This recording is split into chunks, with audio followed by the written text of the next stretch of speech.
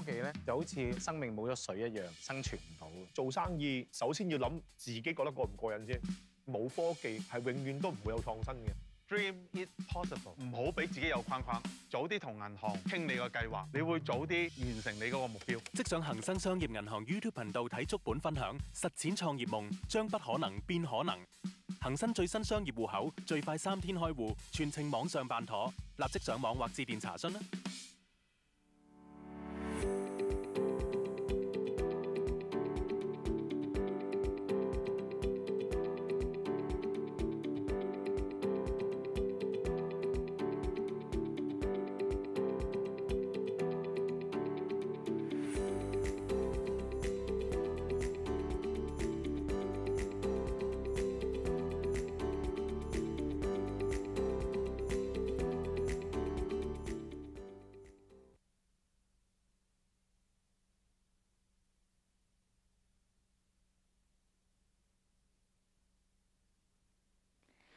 Welcome to the HKTDC Entrepreneur Day 2021. During the three-day event, simultaneous interpretation services in English, Cantonese, and Mandarin will be provided. You may select the audio channel next to the video frame, and you're also welcome to raise questions through the Q&A box. Selected questions will be asked at the Q&A session towards the end of this webinar. Without further ado, the session, Food Tech, the Alternative Food Trend, will now begin. Please welcome our first speaker of the session, Ms. Katharina Unger, founder and CEO of Livin Farms. Hi, Katharina, could you hear us?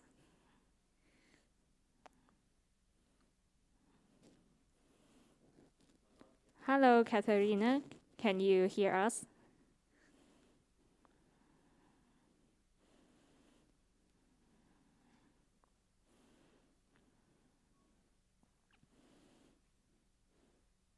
Hello, Katharina.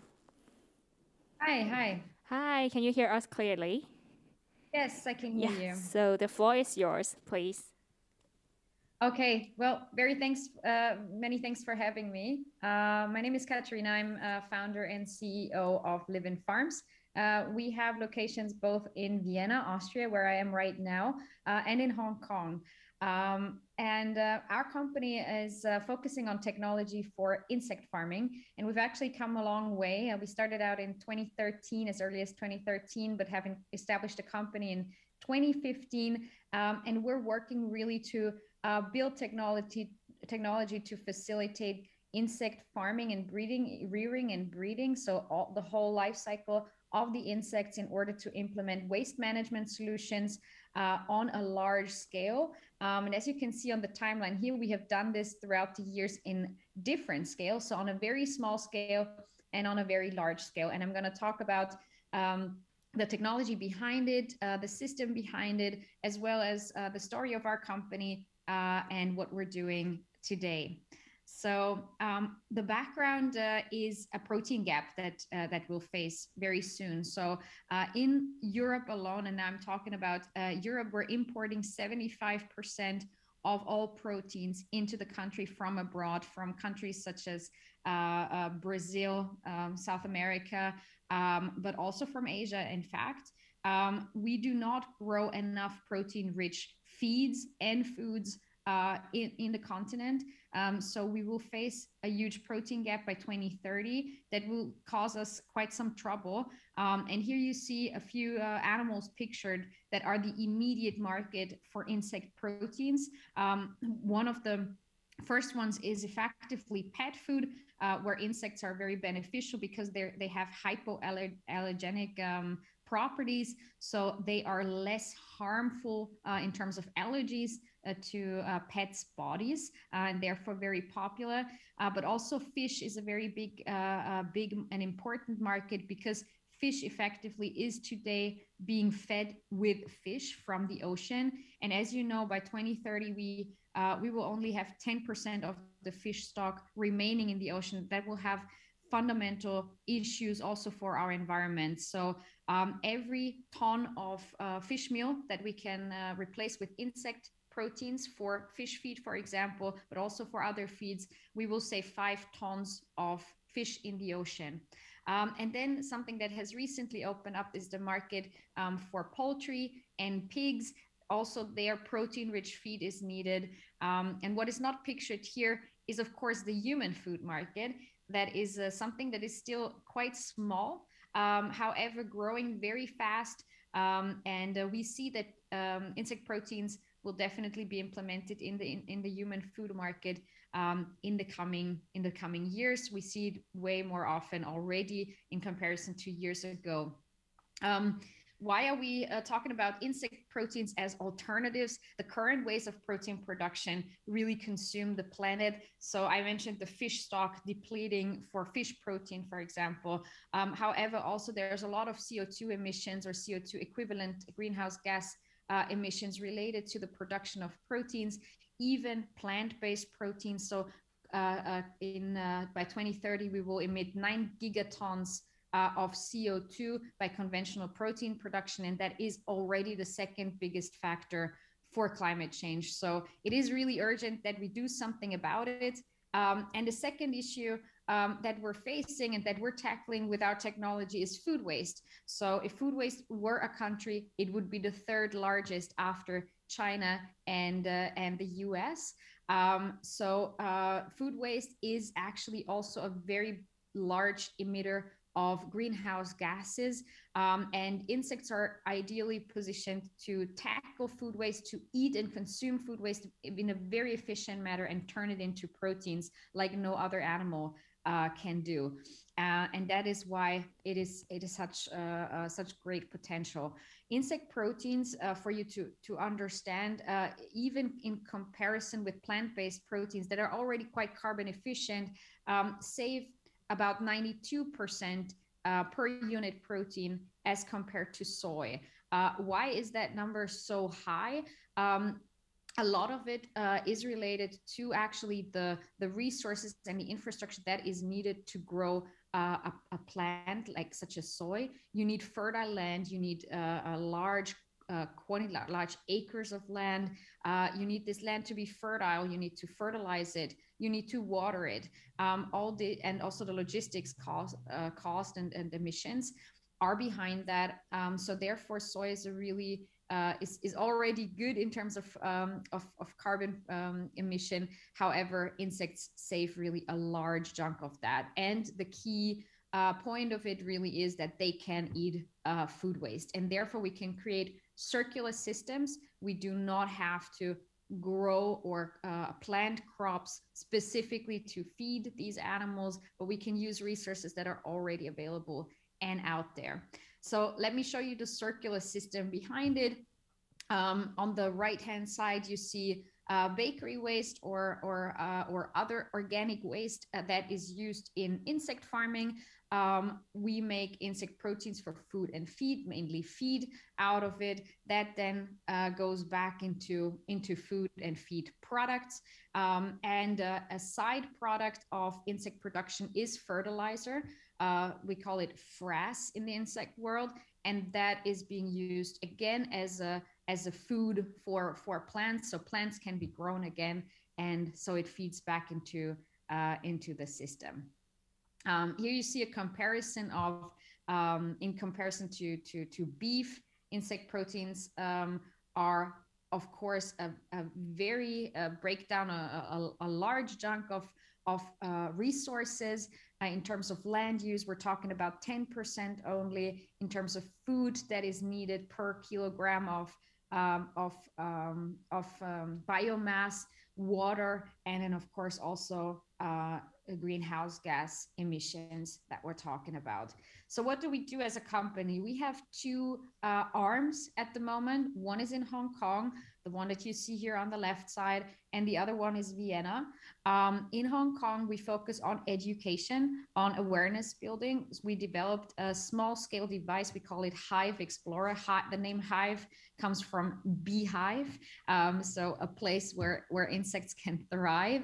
Um, there in Hong Kong, we focus on sustainability education. So we deliver products, mini insect farms to grow mealworms uh, in schools, in homes, to show circular economy, to show how uh, circular systems work. um, and how fun it can also be. Um, we do workshops and events. And uh, in Vienna, we focus on industrial technology. So what we do in Hong Kong on a tiny, tiny scale, we do in uh, in Vienna or in Europe. We build it on a very large one for industrial factories where our customers are uh, customers and factories in the food and feed business. Um, and uh, I will get closer into that a bit later. Uh, but again, a, a, few steps back about our history. That was our beginning. So we we developed a, a, a couple of devices in the insect farming uh, field um, that you see here um, for black soldier fly. So we're talking about two types of insects that we're farming, black soldier fly larvae, so a fly larva, particularly for feed, and then the mealworm, um, which is a beetle larva specifically for food purposes. And you see the development here, wh- how we went and, uh, um, and the right uh, image you see um, this is what we what we also commercialized and uh, that turned into the hive explorer that you see on, on, on these images now so it's a, um, a whole life cycle device so the whole life cycle of the insect happens in that device um, we're, we're STEM.org uh, um, authenticated so um, we have a lot of uh, um, uh, work done in the education field as a tool for for young people to learn about uh, sustainability, zero waste, and circular economies. Um, so here, just a system of how it works in you to have a, an insect farm in your home and effectively compost, if you will, um, um, food wastes in your kitchen or in your school. Um, the values that we, we teach and the principles reach what I said from food waste recycling, circular economies to insect growing technology. So it's really a very STEM heavy um, um, um, product. And of course, the sustainable development goals that we consider in our curriculum uh, that we've developed for both Hong Kong local schools as well as international schools. And now I'm getting going over to uh, what we do on an industrial scale. Um, our product there is called Hive Pro. Hive Professional. It's an automated robotic uh, insect feeding and processing factory. So here we're really talking large scale. Uh, we're talking factory size, um, and on that scale, um, it's a it's a plug and play solution for B2B businesses that have access to waste or that have waste already. So, um, for example, a, a French fry producer uh, that has um, thousands of tons of potato waste every year, juice producers, uh, grain processors, starch producers. They all have byproducts from production that are effectively food and, uh, or feed grade, um, and that they currently pay to get rid of it. So usually that's uh, can that can be up to a six-digit loss for them. Uh, sometimes it's cost neutral, most of the time it actually costs money to get rid of the waste, and it's of course also um, and uh, a factor for emissions. Um, for, for those customers, we provide plug and play solutions. Uh, our uh, uh, our factory plugs into and go, go gets into the infrastructure of theirs. We feed the the um, the waste from their factory feeds into um, our Hive Pro. Um, we come up with food recipes so that we, uh, our knowledge and our IP lies in how to process the feed so that it's ideal for the insects to process. We set up the machinery and then we deliver uh, baby larvae uh, frequently so that the customer only uh, in an automated fashion can get rid of the waste and produce proteins, fats, and fertilizers that they can then sell into the animal feed market. Um, the technology consists of a couple of um, uh, uh, areas. So it's feed processing. So that's where the interface happens to the factory of the customer. That's where feed is being uh, inserted. Um, then it goes through robotic handling, where uh, trays are being filled with the substrate, with the material. Uh, baby larvae are inserted there that are shipped by us, and literally uh, the, the, the growth factor of the insects is so big that tiny, tiny larvae um, are inserted, like are are shipped there in a, a, cardboard box size, and they can fill entire factories. Um, and then uh, in the rearing section, that's where the insects eat for seven days. Uh, and within seven days, they're ready and done. They go back to the robotic handling system, uh, are separated there from their manure. Um, so fertilizer is being harvested there, and in the end product processing uh, module, um, uh, protein powder, fat, and fats are extracted. Um, and those are then products that are sold into the feed markets. Um, so just uh, for you to see roughly the size, the scale of our technology. This is one of our customers. It's a starch producer uh, here in Austria, and you see that uh, uh, on the side, this is the size of our technology. So we're really talking industrial scale. It starts at around 1,500 square meters and goes up to several thousands, depending on uh, on the quantity of the input material that the customer wants. What can we uh, um, use in terms of substrates uh, for the insects to eat? Um, we have a large variety. We're talking about a, the fly, a fly larva um, that can really eat a large variety of waste. Um, in on the industrial categories, there's bakery waste, for example, grain-based waste um, that is often available, potato waste, carrot waste, or other vegetable waste, beer waste, brewery waste, also pre-consumer vegetable waste. When I talk pre-consumer, um, that is before it landed on customers' plates. So meaning uh, unsold goods from a supermarket, for example. And um, in Europe, that is important to mention that it's not post but pre-consumer because in Europe we're not allowed to feed waste that has already been on a customer's plate because it's considered not safe. Uh, in Asia, that's a different story. In Asia, we are allowed to feed post-consumer waste even, so regulation is not as tight. Uh, and then also, of course, grain wastes. Um, how does it work um, with the factory um, and with our customers?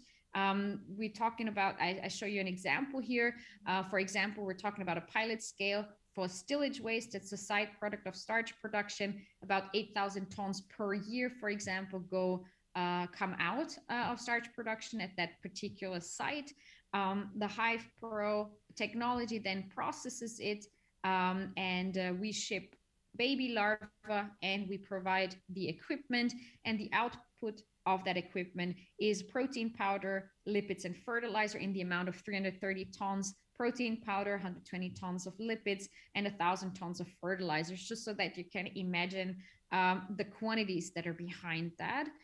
And um, we are talking here about an emission cut of about 70% if you compare it not to soy protein, not to end products, but to the process to composting. So some of our customers, they currently uh, put their products into composting processes and uh, we are saving 70% emissions as, as compared to, to that.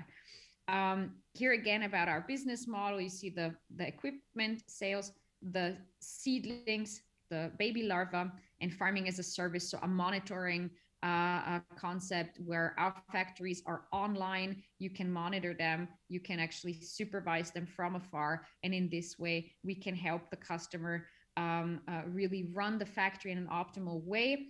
The idea here is really that we saw that customers, industrial customers, they do not want to become insect technologies com- uh, technology companies. They really want to simply make revenue uh, on their waste that they currently pay for, uh, and they want to save emissions. Um, a lot of companies these days have corporate responsibilities, corporate sustainability goals, uh, and that is also, of course, very important to them. Um, and um, we provide these plug and play solutions because, in that sense, uh, the customers really do not have to worry about uh, uh, gaining a lot of skills. They get a set of tools from us uh, equipment, seedlings, and um, the system to run it, and then they can uh, actually produce proteins that they can sell from starting in the in the first month of operation. So it is a very fast turnaround uh, in that sense. Um, so I'm at the end of, of, of my presentation here. Um, our motto is let's secure the future of food together. You're very welcome to visit us on the hiveexplorer.com for education and sustainability education solutions and at uh, livinfarms.com. Thanks, Katharina, for sharing the story of Livin Farms with us. Next, we will have Ms. Carrie Chan, CEO of Avant Meats Company Limited.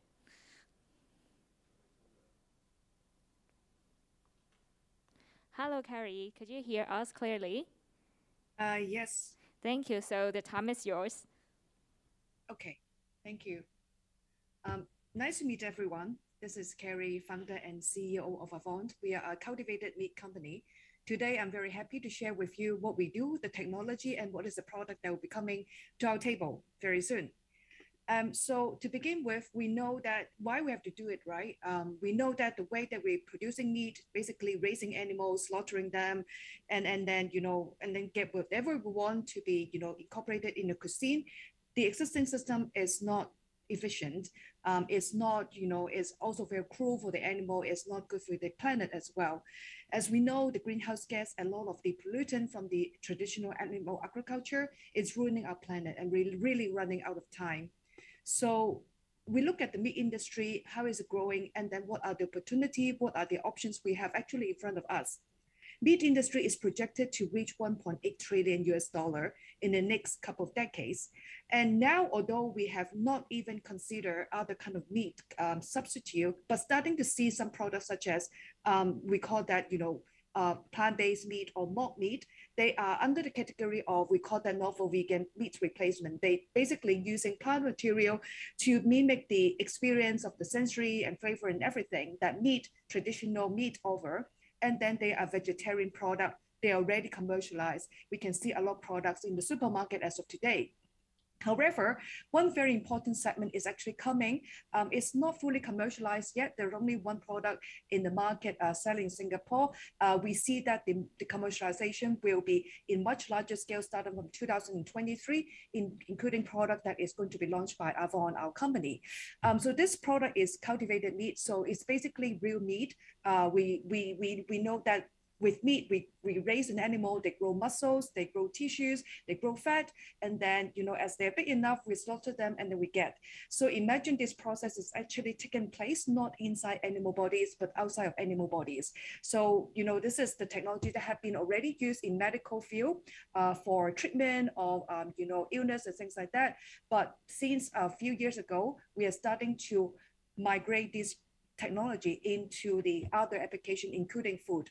Cultivated meat is projected to be over 600 billion US dollar opportunity in the next couple of um, decades. Um, so this is something that we have a lot already achieved uh, a lot of um, you know, interest from different big food group they are all looking at alternative way to hedge how they're going to produce meat in the future, knowing that the climate change and a lot of the animal disease is actually having a lot of challenges on the traditional meat production.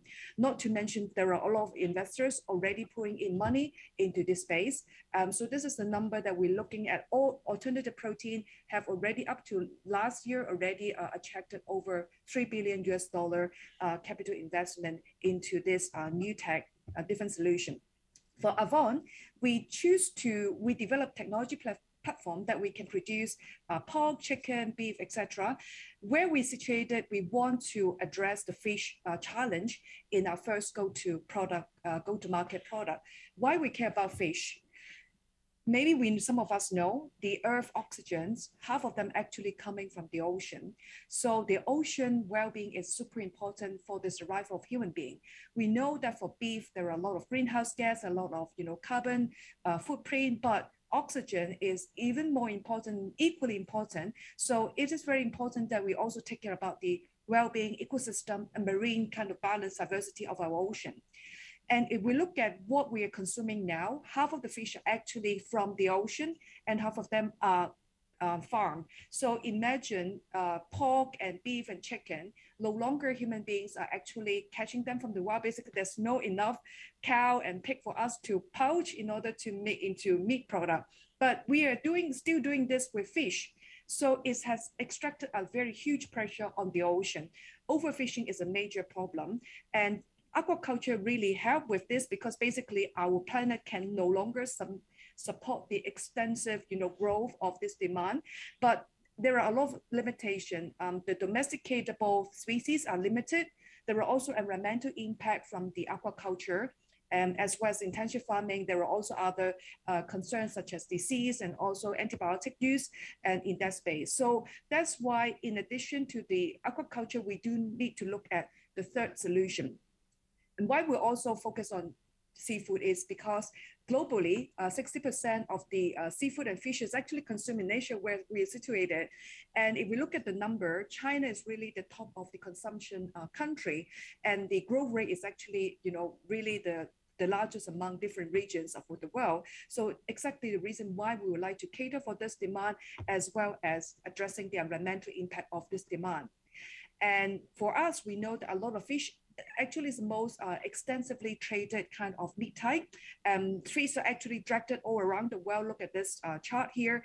All over the world, um, the extensive cold chain, which is very vulnerable, carbon emission is all of the reason why we need to try to centralize, uh, not decentralize the whole supply chain of seafood using this technology. And if we look at greenhouse gas emission, um, the deeper blue color is actually the aquaculture and the fish. So if we look at the deeper blue color, now it's only half of what we are we are consuming. Uh, remember, um, still roughly about half of the fish is actually farmed. So that means that if we really want to farm all of the fish, we are actually, uh, you know, consuming the whole kind of like input um, of the greenhouse gas will be double and it will be very sizable, very similar to pork and other kind of meat type. So do not understand, underestimate the environmental footprint of actually the fish products. Now looking at cultivated meat, um, as per our projection, cultivated meat is one of the promising solution that we can reduce drastically the life cycle uh, of the impact on the environment to really a fraction of what the conventional method is actually uh, producing.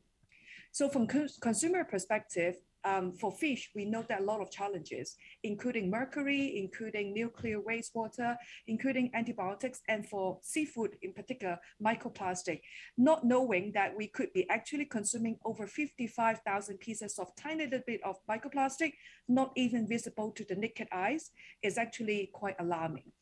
And um, as we have already mentioned, 90% of the marine ecosystem already exploited. These are the number, basically we lose count of the number of fish that we have farmed and caught every year.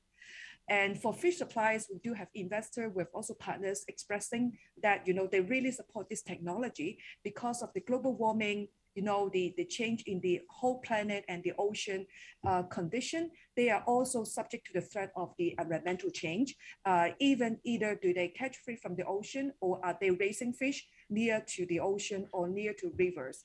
Um, so this solution is uh, essential. The more we the, the more we see the the, the uh, planet is changing, the more we see that it becomes very essential. Now these are the new planetary challenges. We need a new solution.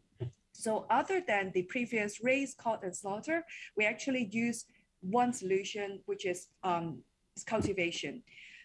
A new class of fish is born using this technology. So uh, the bioprocess, just to make it easier to understand, I put it side by side with other very similar bioprocesses we have been used to produce other food and products. So it's actually very similar to how we make yogurt and beer we all start with a uh, very healthy population of the, uh, the organism that we need. In the case of yogurt, it's bacteria, healthy bacteria. In beer, it's yeast. And in this case, it's a very healthy uh, cell uh, population that is we extracted from healthy animals and carefully screened and verified and tested before they put into use.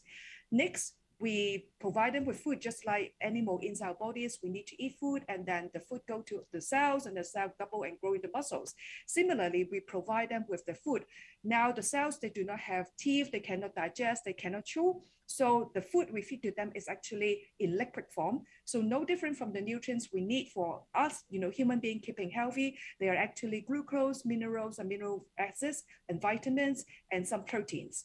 And similar to what we feed to the yogurt, which is lactose and other kind of material for beers and things like that. The third important element is the living environment. So keeping them in the right temperature, they like, for example, mammalian cells or mammals around 37 degrees Celsius, 38. And for fish, it's actually a little bit lower, using even less energy, about 30 something degrees Celsius. So basically, it's a machine that we keep the temperature right, we keep the pH level right, and then we keep, you know, mixing them, you know, the food with the cells. And voila, in about a month and a half to two months, we will get the, the meat, get the, the, the protein from the whole process. Think about it, compared to raising a fish in a fish farm, depending on the species, it could be roughly about a year and more to the size of the fish that we put in the plate to steam. So two months versus about 12 months, it is really one um, one sixth of the time. So it's definitely helping us to take care of the challenge global is to produce food in an even faster pace to feed the growing uh, population around the world. About Avant, um, briefly introduced, we started in 2018. Um, our first laboratory is in Hong Kong Science Park. And we launched our first uh, product prototype, which is a fish maw. In Asian, we know that it's a very tasty delicacy. It's also good for our health. And we launched it in our um, in a food tech summit um, in 2019. And last year, we have completed our second prototype, which is a fish fillet. Uh, look at this picture. Imagine it can be actually in uh, used in like a fish burger or around, you know, different kind of recipe and fast food shop.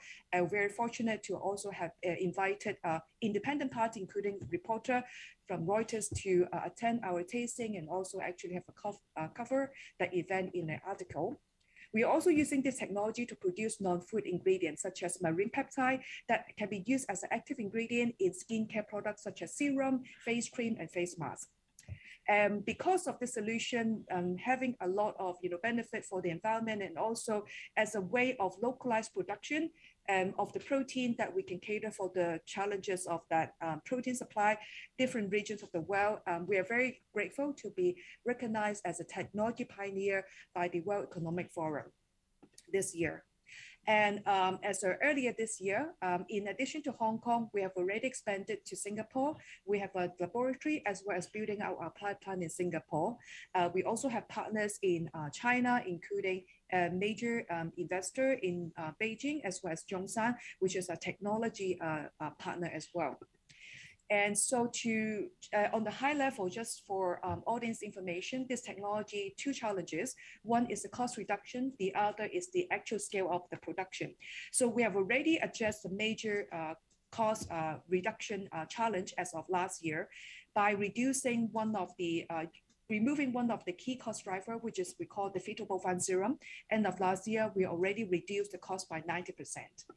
And in addition to that, we are also other patent pending solution to reduce the cost further so that we're looking at price parity similar to premium grade or fish fillet product out there around 2024, 2025. And um, we briefly mentioned we have a John's Lab and we're also building our pilot plant in Singapore, target to be in operation end of last, uh, end of next year. These are the, um, before we, we go, um, I would like to briefly introduce a product we're going to launch in the next uh, about 18 months or so. Um, we, have, um, we have two product uh, trademark uh, brand. One is Zellulin, which is a skincare active ingredient that actually help the skin to uh, stimulate the growth of uh, collagen and other, you know, under the skin texture uh, material, extracellular ma matrix material. And so this is one of the our early product that could be launched in the market.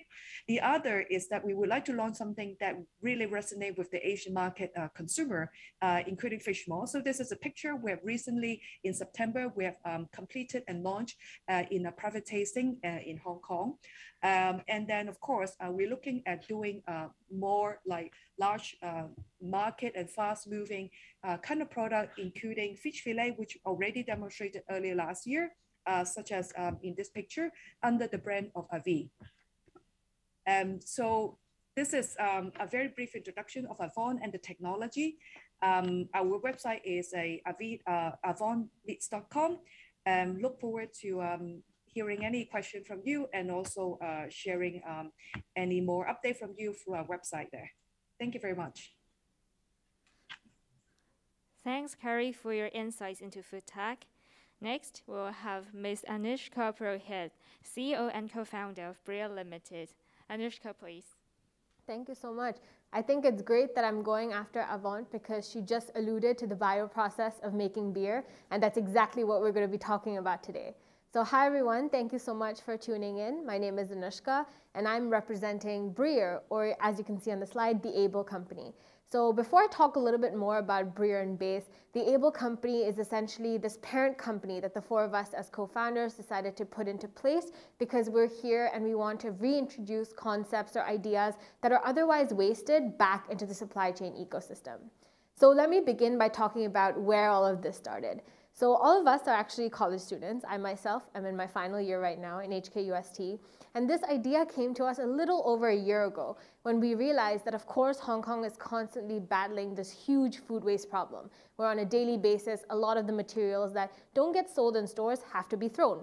But at the same time, we wanted to take part in a social impact competition. And for that, we needed not only just a problem, but also a way to solve it.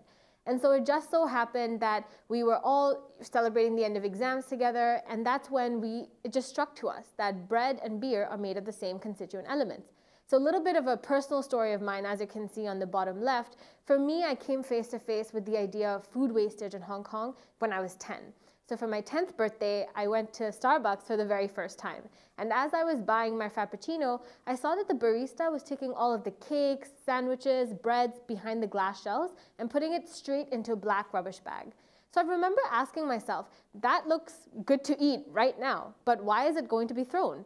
And that's when I came face to face with, you know, the huge scale of this problem of food wastage. And that's when I knew that I wanted to do something and change that for Hong Kong.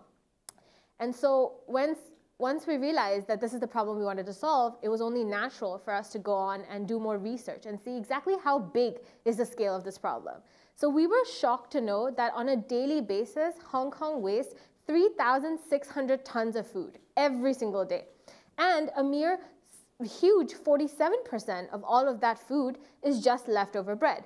So I'm sure all of us are familiar with the early mornings that we have office to run to or events to run to. And sometimes we don't have time to make breakfast. So what's our go-to solution? Go to the nearest bakery and pick up a slice of bread. But what we don't realize is at the end of the day, nobody really is looking for bread to fill their appetite anymore. And that's why the amount of bread that is in those bakeries is most likely left unsold. And what happens when the bread is left unsold in bakeries? The bakeries have no choice but to throw it away because throughout the entirety of the day, the bread is left exposed to the air and therefore is not in the highest or most optimal quality condition. And as you can see, this problem is so major that as of 2020, the Hong Kong government anticipated that all three of Hong Kong's landfills would be full. Now, thankfully, that statistic moved forward by one year to 2021, but it's crazy to think that it's the first day of December and we're just a month away from this statistic becoming our reality. So it was clear that it was important for us as Hong Kongers to do something for the city that we call home. So we decided to make beer from bread. But of course, it's important when you start any type of entrepreneurship venture to make sure that the market is lucrative and that there is potential for you to make money so that you can constantly re-innovating new ideas. So we decided to analyze the existing beer market, and we were pleasantly surprised to know that Hong Kong consumes more than 30 plus billion liters of beer every year, which is a market worth 1.2 billion US dollars, and has an incredible growth rate, 3.1% in beer sales as of when we did the PowerPoint, but I'm sure now it's closer to 5%. And this has, of course, also been accelerated after the pandemic, where after a brief period of time of no interaction with food and beverage, everybody is more than excited now to go back out there and try new products. So we, as Breer, decided to focus in on the market valued at $569 million by catering to those who are looking forward to trying new tastes of beer and, of course, being sustainable while they're doing that. So with that, we went on to analyze our target segment. And it only made sense for us to pick people who were in our league or close to us, because then we would be able to understand them much better. So we honed in on people aged 18 to 34 year olds who have a drive for sustainability and a comparatively higher propensity for spending. So they wouldn't mind taking out five or $10 more as long as the product is completely in line with their personal values. And that's when we decided that this was an idea that we would launch in the Hong Kong market, focusing on this specific network. And when we first began, and I would highly recommend everyone looking to start a venture of their own to do that with a survey. We launched a survey asking, you know, our friends, family, peers, professors even, if they would want to try this bread beer if we were to put it on the market. And as you can see, a whopping 93% of respondents of the survey said they would. And that gave us the confidence to take this from an idea to a business. So with that, at the core of our business model, we want to follow the positive sustainable frameworks that the United Nations has put forward for us. And Breer specifically aligns with five of them. So naturally, we do want to work towards zero hunger, although a lot of people think that's counterintuitive because what happens one day if we've used up all the bread and there's no more waste, then how will we make bread beer? But we have other ideas, and we'll get to that later. But we are working towards making sure that we are inculcating this concept of responsible consumption and production of every good that we interact with. And all in all, working towards goal number 13, which is to start creating climate action. So now onto the fun part. Let's talk a little bit more about beer. So a lot of people don't know, but actually beer is made with only three ingredients, barley, hops, and yeast. And as you can see here on the slide, 78% of that mash tun is just barley. So what we do in the brewing of bread beer is instead of putting in 19, uh, 80% of barley, we would put in bread. So we take slices of bread, as you would imagine, break them into smaller pieces, and put them directly into the mash tun. And as you can see in the graphic here, the rest of the beer brewing process remains exactly the same. And that works to our advantage because when we contract brew from existing breweries, they no longer have to buy new ingredients or even buy new machinery to change their normal days of work for us. And that gives them incentive to work with us as well. So hops and yeast are really just the elements that help you flavor your beer. So depending on the style of the beer, the taste of the beer, you would alternate with these constituent elements. So with that, once we had all of these nitty gritties out of the way, we decided to give it a shot. So like I mentioned earlier, we had this idea initially for a social innovation competition. So of course we went on and pitched the idea and thankfully everyone thought it was cool, so we won. And when we won, they gave us 10,000 Hong Kong dollars. And now it was on to us to actually try and make our idea turn into reality. So we brewed what you can see on the slide here, responsibly, which was our very, very first beer and our pilot beer. And we took this as a challenge to see if bread actually could turn into beer. And thankfully it did. While I will admit that the taste probably wasn't as its best as it is now, it definitely was a step in the right direction and showed us that there is potential here. And since then, we went a little crazy. We made so many different types of beers, starting from the two on the left, which were Sensation and Ale 52. These were beers that we brewed with Mediterranean toast and dark rye bread, and even making a tequila beer for those who don't necessarily like beer, but like the tequila. In fact, we even worked with a popular chain here in Hong Kong, Bike Me Down, to use their ever so famous milk bread to make a milk pale ale.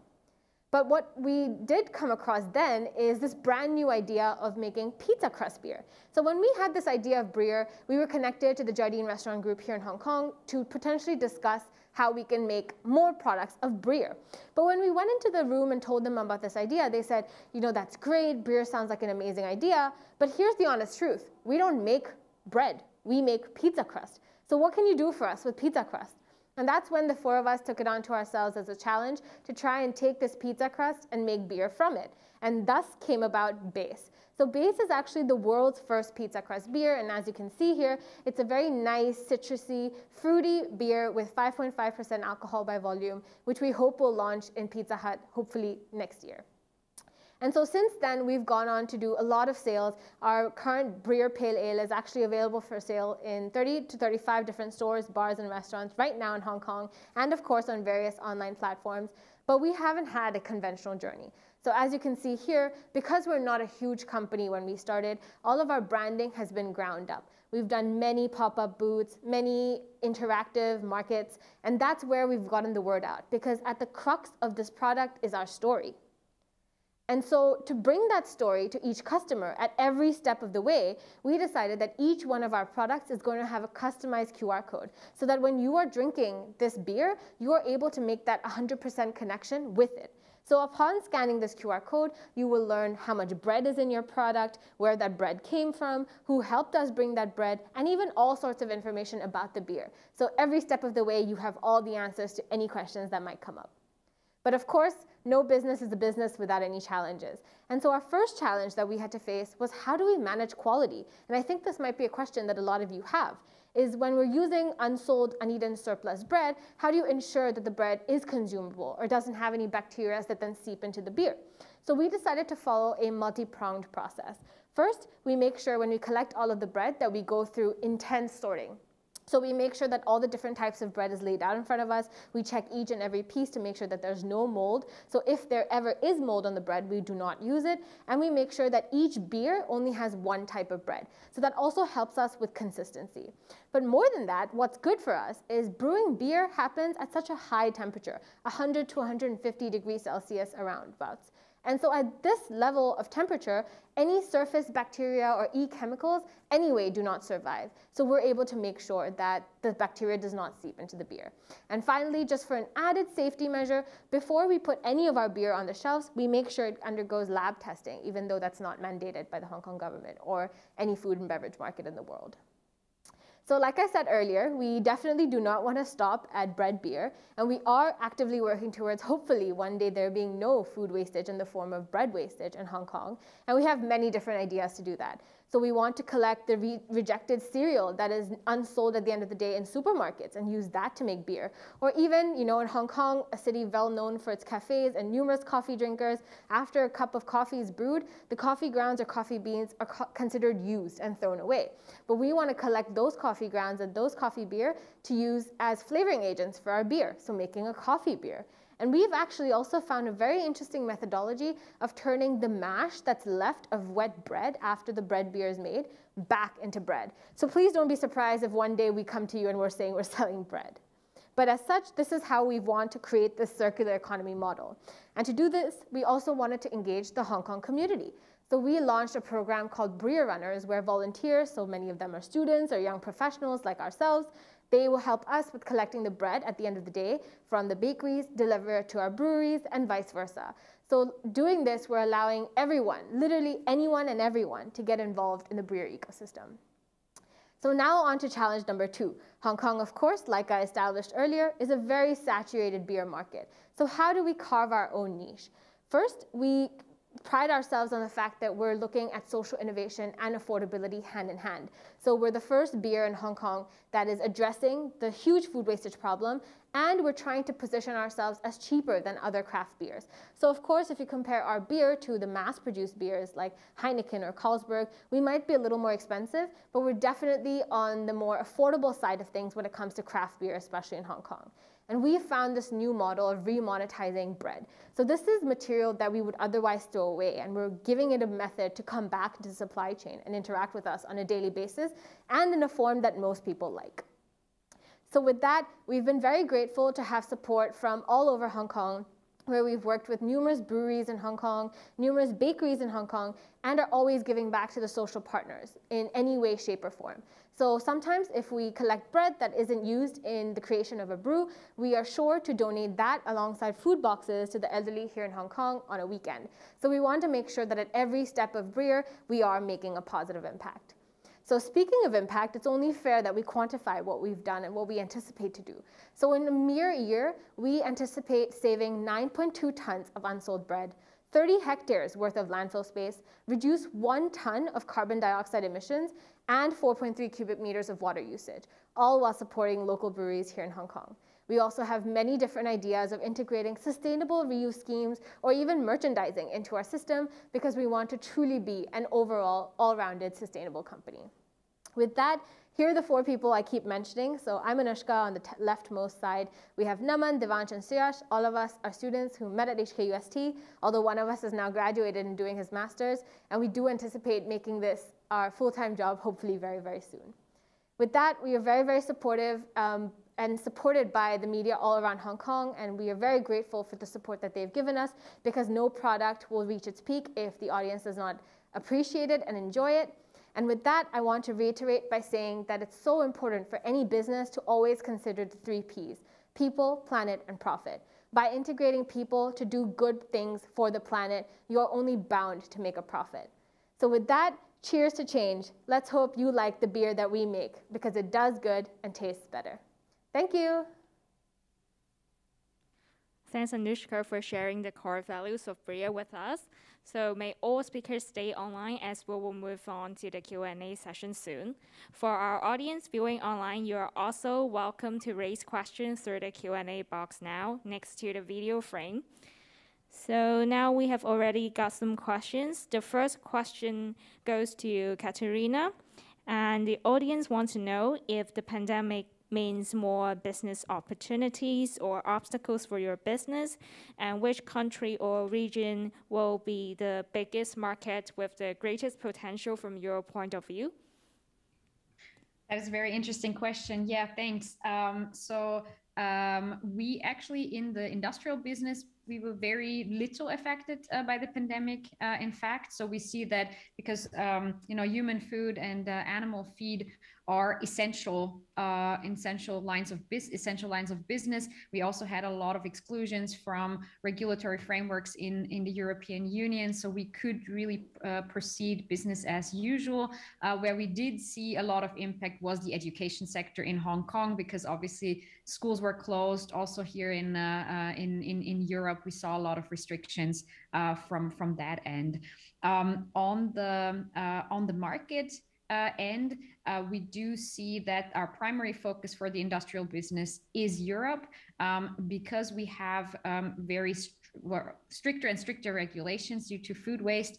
Um, there's very progressive goals uh, on from European legislative end to cut down on it uh, by 30% by 2020. Uh, uh 2025 and um, uh, by 50% by 2030.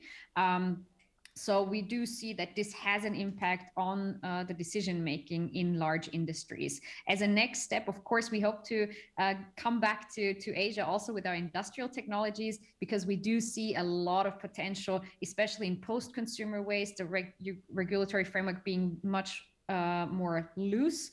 Um, it's also a much more competitive market uh, where you have to succeed with this scale of, of, of technology that we're talking about, which is sort of it's in an industrial uh, uh, scale, but it is rather small if you compare it to other industries um, in in an industrial segment. Um, but yes, we do think that uh, that Asia will be will be the, the market thereafter. That is most interesting. Thank you, Katharina. And the next question goes to Carrie. So the audience asks, do you think the alternative food trend is picking up faster than before, given that people are more environmentally conscious now? Yeah, definitely. I think um, part of it uh, I attribute to the whole kind of COVID experience of um, every one of us. Previously, we basically quite take it for granted. You know, if we go to supermarket, there will be food there, and then we've really not thought about that we could be in a situation, I don't know whether you will remember, there had been a few days where we rushed to the supermarket just to find the shelf empty. And so we basically exposed that, you know, the supply chain is actually very vulnerable, be it um, the, the, the disruption because of the transportation or because, you know, the whole chain, um, you know, basically subject to a lot of different weak points that can happen. So I think that is also leading up and helping in particular cultivated meat. So in this case, longer we do we need to have a farm, have a big piece of land, raise the animal, and then you know slaughter them and then bring it and distribute that. That is a very um, you know conventional centralized system. Uh, in cultivated meat, we actually can set up the same plant, you know, different parts of the world, even in desert, as long as we have the access to some of the raw material and some power. You could even use solar power. And then we basically do not need to really need to the water or do not need to transport the fish, um, drag them all around the world. We can actually decentralize the whole production of um, meat and protein. So in that sense, it actually increased the uh, food security um, as a solution in the long run. And of course, uh, people um, now aware of the uh, health and more concerned about the quality of the food we put in their mouth. And so, you know, all of these are attributable to the um, raising awareness and also receptiveness for alternative protein. Um, and um, that we, we see that has been a very basically big change in the past um, one year or so. Thank you, Carrie. So as time is running short, I guess this will be our last question. And our last question goes to Anushka. And this audience want to know how much cleaning is needed for those food waste before you are turning them into beer. And is there any extra work? And do you think this extra work would be a burden for your partners? So the beauty of making beer is that because it all happens at such a high temperature, what we would normally be worried about as a contaminant, you know, in daily, say for example, food usage, does not really come into the picture. So if you're talking about the earlier situation I gave, where in the morning, of course, bread is a lot more consumed because people are going to work, they need breakfast on the go, things like that. So they tend to buy bread. Whereas when they're returning from work, nobody really thinks about buying bread on their way home. So the bread is still sitting there and it's been sitting there the whole day. But that might deter someone from picking that bread and eating it at the end of the night. But when you're putting that into beer, the beer doesn't discriminate. So it doesn't care that it's been sitting out there all day because it still has that functional role of barley in it. And as for you know the different partners, I think that the model that we've tried to create is one where it's important for us to make working with us easy for our partners, otherwise they won't. So when we first decided to bring in this idea of collecting the bread that doesn't get sold by our partners and using that for beer, of course they were all very apprehensive because nobody had done bread beer in Hong Kong. And this was four students walking up to the different bakeries and saying, hi, please give us all your bread, we're gonna make beer from it. So naturally they did too have their own doubts on whether we would actually do that or not. But the reason we were able to convince them is because if we weren't in the picture, what these bakeries have to do today is call a delivery partner, call a driver, have them arrange transportation, come to their bakery, collect all of the bread or the materials that they would otherwise want to dispose, and then get them to take it away for them. So essentially, the disposal of their waste was at cost to them. So when we came into the picture, we said, okay, look, we won't charge you anything for the bread. You just give us the bread and now it's not your problem anymore. We'll take care of it. We'll deliver it from here to there or there to here and you don't have to think about it anymore. So we gave them almost like a monetary incentive to work with us. And I think at every step for Breer, we're trying to alleviate our stakeholders from extra work and maybe even taking it on ourselves, but introducing it in a new manner. And that's why I think our Breer Runner program is so innovative because it allows people in Hong Kong who want to make change even after work hours, or if you're student like like me and you have to do it for university, this is a fun way to integrate that into something you would have to do anyways. Thanks, Anushka, for answering this question. So once again, Katharina, Carrie, and Anushka, thank you very much for all of your presentations and insights. And I'm quite sure that our audience has learned a lot from this webinar. So for audience, please feel free to scan the QR code shown on the screen to let us know your feedback about this webinar. And you can also stay connected with our smart advisor to explore more possibilities by scanning the QR code on your right-hand side. Our next session will start at 10 a.m. tomorrow. Meanwhile, don't forget to check out our concurrent event, SmartBiz Expo 2021. If you're looking for more event details, you can check out this website. So thank you so much for your support today and see you all tomorrow.